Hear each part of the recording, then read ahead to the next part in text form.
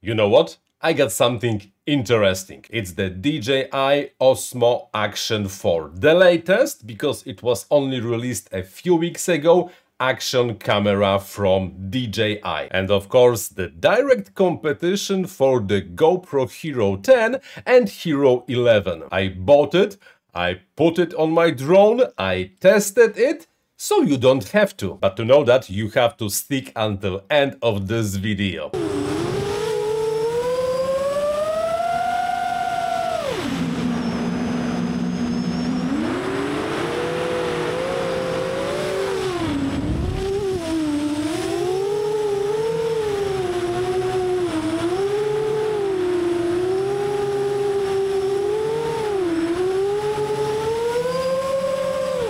Let's begin with something simple. The DJI Osmo Action 4 is extremely similar to the GoPro Hero 10 and 11 series. Basically the same form factor.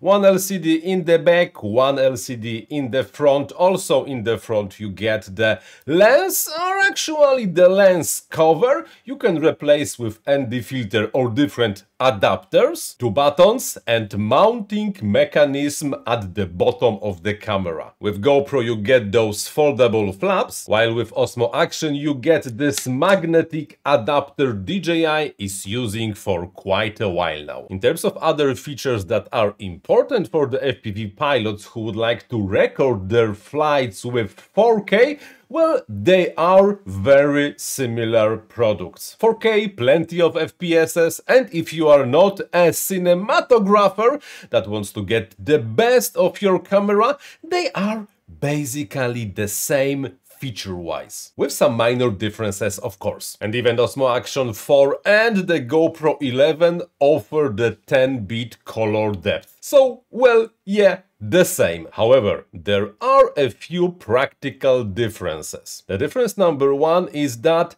Osmo Action is smaller and lighter. Bear in mind, not by much, but it is smaller and it is lighter and it is a big thing if you are flying a 5-inch drone. Then the DJI Osmo Action 4 has a proper logarithmic color profile. If you enable the D-Log M on your Osmo Action, you get a proper log format of your videos. On top of that, DJI shares the official LUT that converts the D-Log M into the Rec 709. The proper LUT to handle D-Log M into the Rec 709 it is kinda important thing. And then it appears that the Osmo Action 4 is not recording gyro information into the videos. Maybe the Gyroflow does not know yet how to use this information,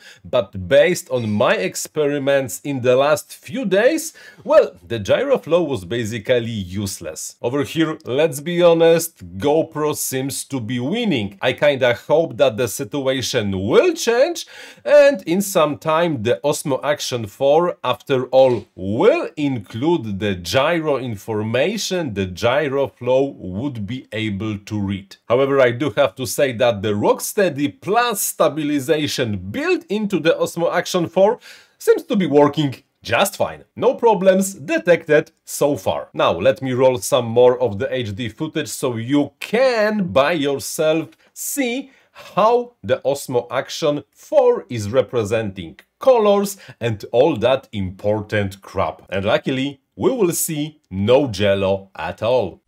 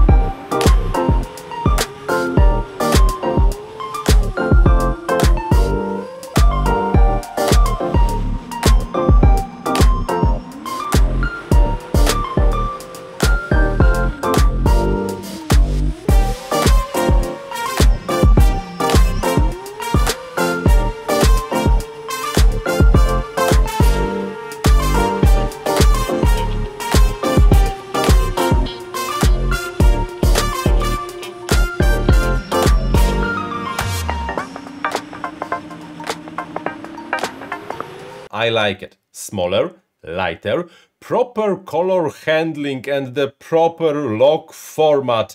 One more time, this is kinda important if you want to have something more than just a footage. And finally, the Rocksteady Plus stabilization seems to be working just fine. No jello, dynamic range seems to be just fine, no problems were handling darker areas of the image, and after all, works okay, or maybe even more than okay to be honest. And finally, the DJI Care program is cheaper than the GoPro subscription. So if you buy the insurance for the camera and you will want to replace the camera, the DJI should be a cheaper option. For the time being, I'm switching from my old Hero 10 Black to the Osmo Action 4 on my drones. Because, well, why not? Of course I will have to design and print a few holders for the camera, but after all, I think I will be happy with the transition. Not selling the GoPro yet though, it has some other advantages that the Osmo Action lacks, but those are not important if you only want to use the camera for the FPV flights